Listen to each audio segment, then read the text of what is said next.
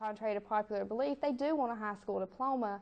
However, there are barriers and there are obstacles in their way, and they're just they're crying for help. You know, they they want us to reach out and help them, and that is one of the things that I have seen here at Carroll High. That you know, a majority of our students do want the help. It's just you know a matter of getting that help to them and helping them along on that path.